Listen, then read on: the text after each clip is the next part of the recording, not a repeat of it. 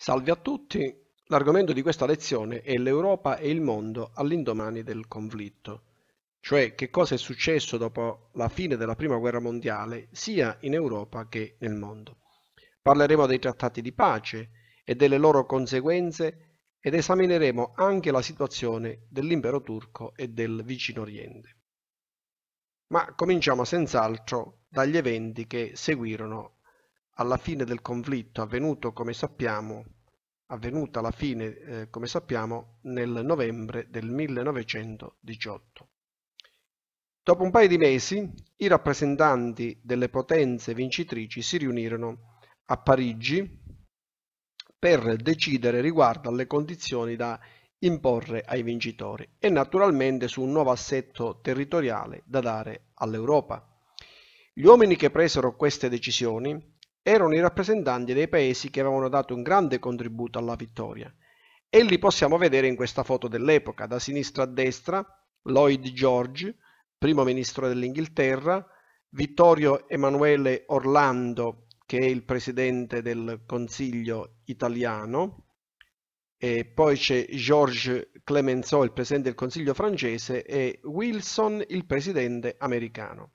In realtà il nostro presidente del Consiglio decise ben poco, dal momento che il nostro rappresentante, appunto Orlando, dopo uno scontro con il presidente Wilson riguardo ai territori slavi della Dalmazia, cioè la costa della nascente Jugoslavia, che erano rivendicati dall'Italia, ma sui quali il presidente Wilson oppose un netto rifiuto, dicevo, per colpa di, di questo scontro, diciamo, nell'aprile del 1919, mm, Orlando, in segno di protesta, si ritirò la delegazione italiana da Parigi.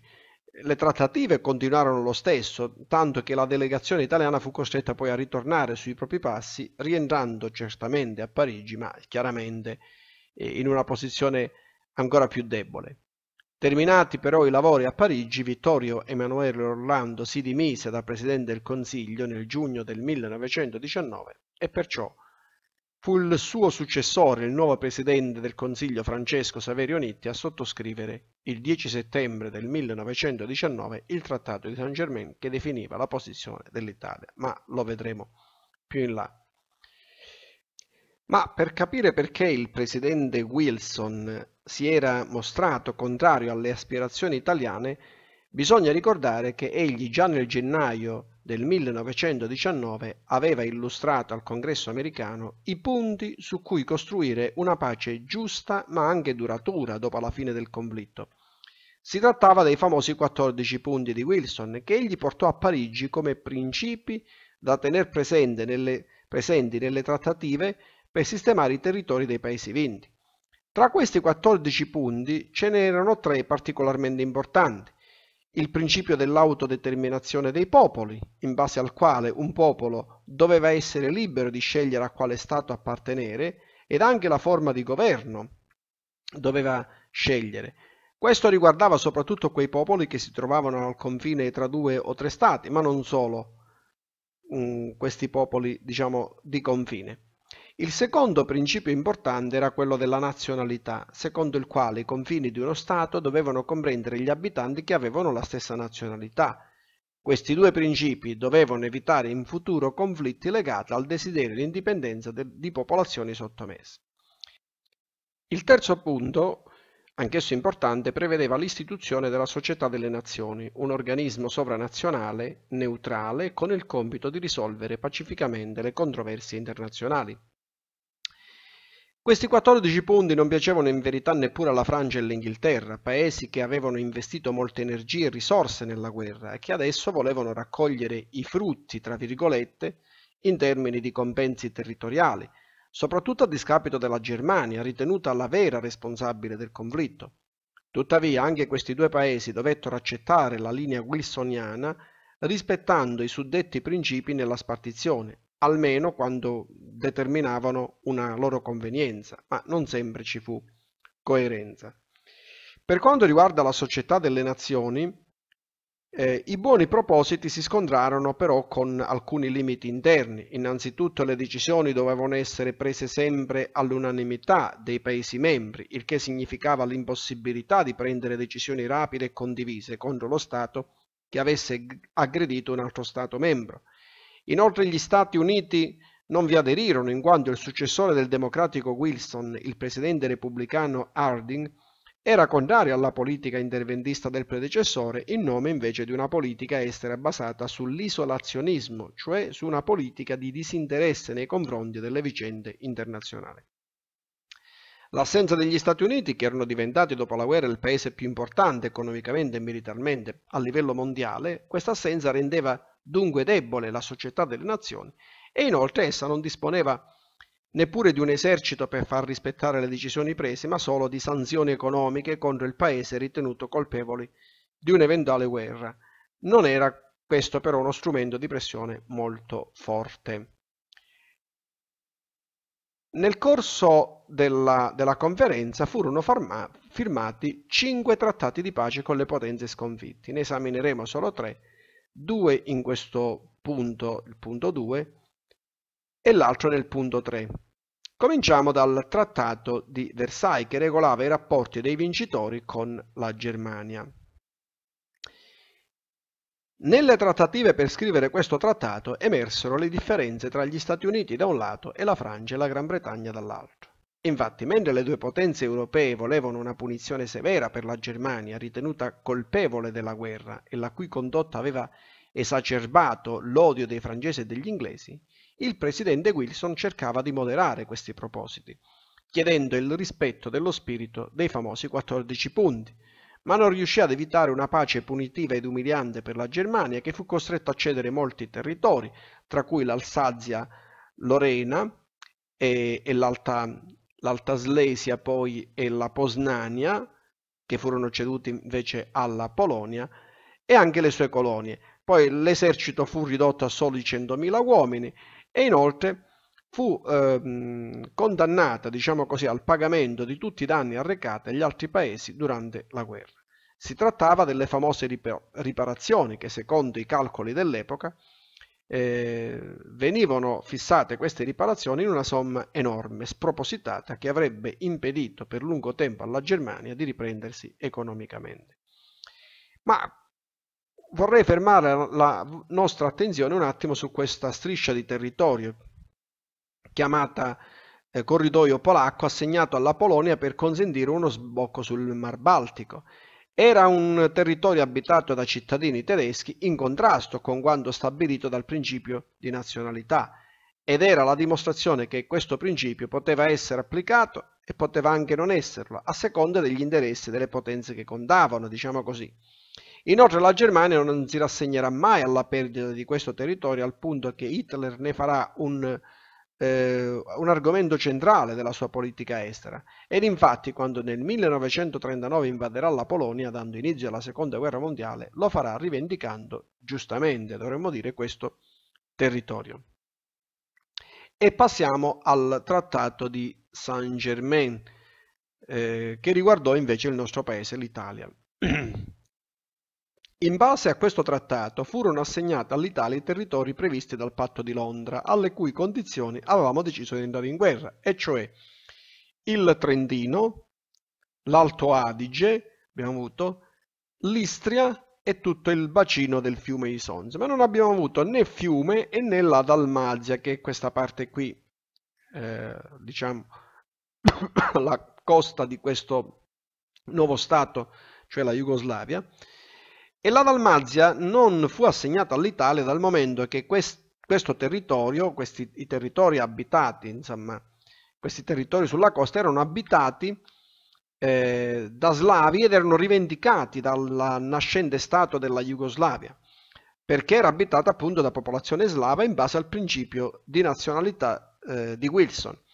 Su questo contrasto, come abbiamo detto precedentemente, si consumò la rottura tra il Presidente del Consiglio italiano e quello americano. Quel che è certo è che il governo italiano ne uscì sconfitto agli occhi dell'opinione pubblica italiana perché fu ritenuto incapace, il governo, insomma, i nostri rappresentanti, di far valere i nostri diritti. Dalla disgregazione del del, ehm, dell'impero austro-ungarico, dell'impero ottomano e anche del vecchio impero russo, da questa disgregazione nacquero nuovi stati in Europa. E li possiamo vedere in questa cartina. Eh, qui viene fatta vedere proprio la nuova sistemazione. Questi erano i territori ve del vecchio impero austro-ungarico. A questo punto è doveroso fare un breve esame anche degli eventi che si verificarono nel vecchio impero turco dopo la fine del conflitto.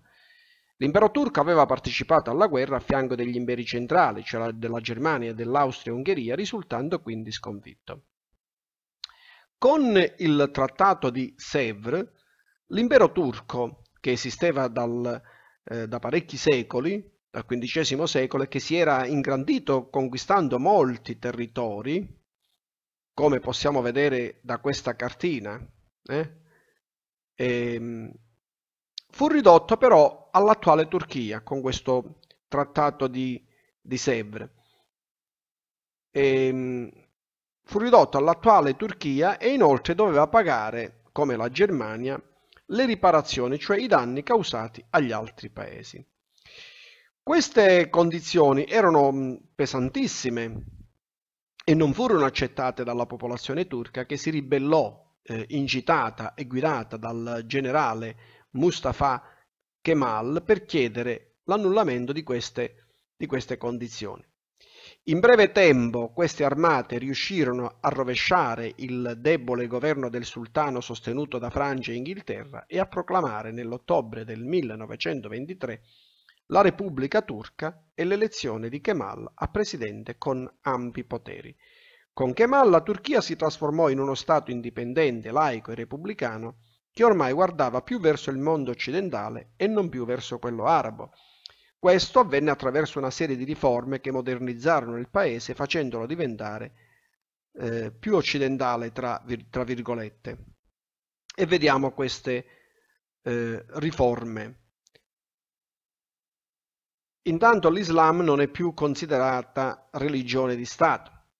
L'istruzione poi eh, diventò pubblica e laica, fu adottato l'alfabeto latino al posto di quello arabo, fu concesso il voto alle donne e fu abbandonato l'uso del velo.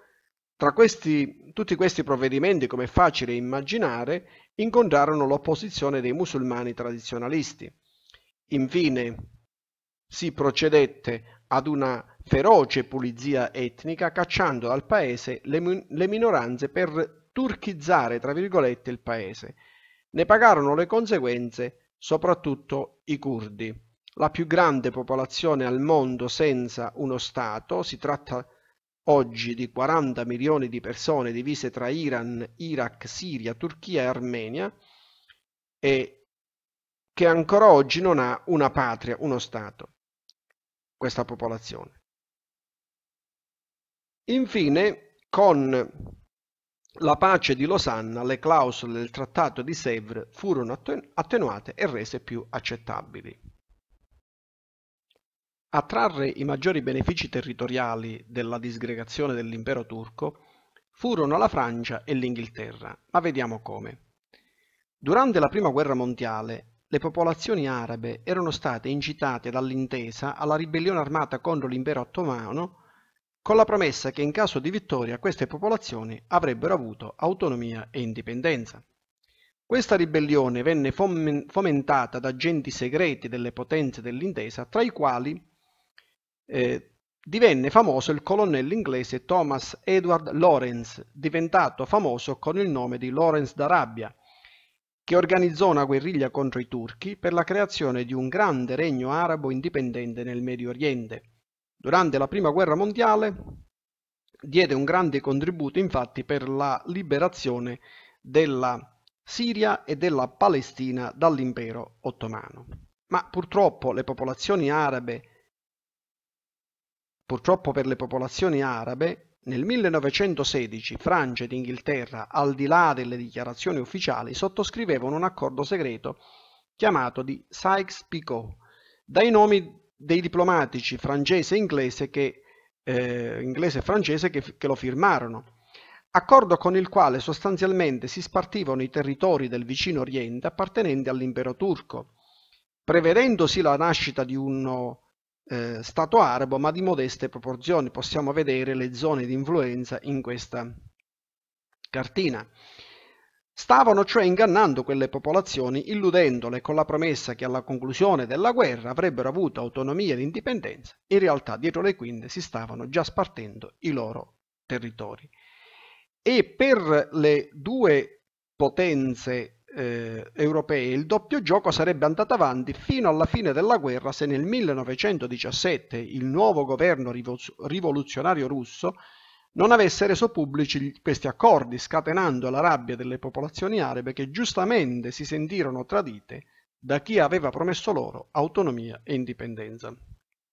Nello stesso periodo arrivò per gli arabi un'altra brutta notizia. Nel novembre 1917 il ministro degli esteri britannico Balfour inviò una dichiarazione al principale rappresentante della comunità ebraica inglese una lettera nella quale affermava che il governo britannico guardava con favore alla creazione di una national home, cioè di una dimora nazionale per il popolo ebraico in Palestina, allora facente parte dell'impero ottomano. Questo per consentire agli ebrei dispersi per il mondo di poter ritornare nella propria terra. Il problema era che in Palestina vivevano popolazioni arabe che non accolsero bene la notizia che queste comunità ebraiche venivano ad occupare gli stessi territori. Cominciarono allora, cominciarono allora scontri tra ebrei e arabi palestinesi che nel corso della storia successiva spesso sfoceranno in scontri armati e in atti terroristici. Alla fine della guerra comunque Francia e Gran Bretagna, che erano state scoperte, eh, scoperti, paesi che erano stati scoperti nei loro giochi spartitori, cercarono di trovare una soluzione di compromesso tra le promesse di indipendenza ai paesi arabi e la loro volontà di controllare in qualche modo eh, quei territori. Si arrivò così con il beneplacito della società delle nazioni alla creazione dei cosiddetti mandati, con i quali i paesi non ancora in grado di governarsi da soli, dopo tanti anni di sottomissione, venivano affidati ad uno di questi due paesi, la Francia o la Gran Bretagna, potenze che li avrebbero, tra virgolette, aiutati nel loro sviluppo politico ed economico, raggiunto il quale la potenza protettrice o mandataria si sarebbe ritirata per lasciare appunto autonomia ed indipendenza al paese arabo. Si trattava di un altro inganno, in questo modo la Francia e la Gran Bretagna riuscirono comunque a controllare i territori desiderati, come era scritto nell'accordo di Sykes-Picot, preoccupandosi non tanto di farli crescere questi paesi, quanto di poterli sfruttare per i propri interessi politici ed economici. Ultimo argomento, l'Europa senza stabilità.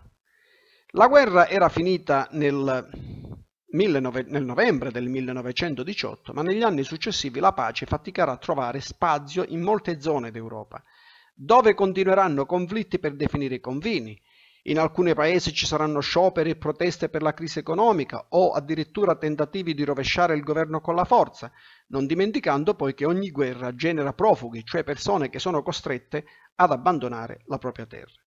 Inoltre, Scoppiò un'epidemia influenzale detta la spagnola perché la sua esistenza fu riportata dapprima soltanto dai giornali spagnoli in quanto la Spagna non era coinvolta nella prima guerra mondiale e quindi la sua stampa non era soggetta alla censura di guerra. Negli altri paesi il violento diffondersi di questa influenza fu tenuto nascosto dai mezzi di, informazione che tendevano a parlarne come di un'epidemia circoscritta alla Spagna. Ebbene, questa epidemia fra il 1918 e il 1920 uccise circa 40-50 milioni di persone nel mondo, rivelandosi più mortale della stessa guerra che di morti ne aveva provocati circa 10 milioni. Poi c'era da affrontare, come abbiamo già anticipato, il problema dei profughi e delle minoranze etniche. Eh, la sistemazione dei territori europei, infatti, non sembra aveva tenuto conto dei principi dell'autodeterminazione e della nazionalità, Perciò molte minoranze si trovarono a vivere in paesi diversi dal proprio, causando in molti il desiderio di andarsene, e in altri casi se ne andavano per non essere perseguitati, come accadde agli armeni in Turchia e ai russi che non appoggiavano la rivoluzione comunista. E poi c'erano in corso ancora micro conflitti, potremmo dire, come quello tra la Polonia e l'Unione Sovietica per questioni territoriali. Poi c'era la rivoluzione comunista in Russia, che era diventata un modello per molti partiti e movimenti di sinistra in Occidente che cercarono per questo di replicare nei rispettivi paesi questa rivoluzione, Fare come in Russia fu uno slogan diffuso in molti paesi europei negli anni venti e non solo. Ma questi tentativi si conclusero generalmente male e provocarono in qualche modo l'instaurazione di regimi autoritari. Infine, la fine della guerra aveva certificato che le chiavi della politica mondiale erano passate dalla Francia e l'Inghilterra agli Stati Uniti, che era diventata in questo momento l'unica pote vera potenza economica e militare in grado appunto di avere un ruolo predominante sulla scena politica mondiale.